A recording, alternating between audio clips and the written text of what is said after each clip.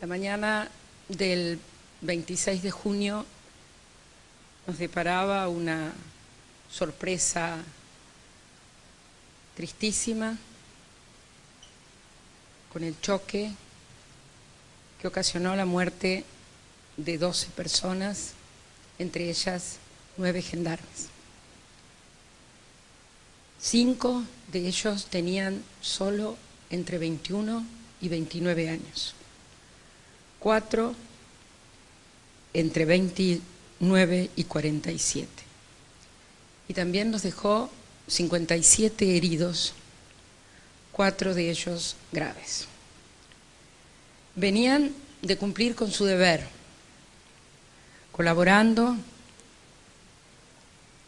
en una misión operativa en la provincia de Chubut. Un deber que esta sociedad les requiere y con el cual cumplían, cumpliendo también de esa manera con el juramento con el que iniciaron su misión en la Gendarmería.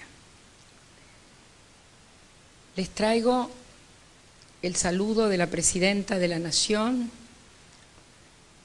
a los familiares y a la Gendarmería Nacional, institución que cobijaba a estos nueve fallecidos. Su conmovida solidaridad por este sacrificio.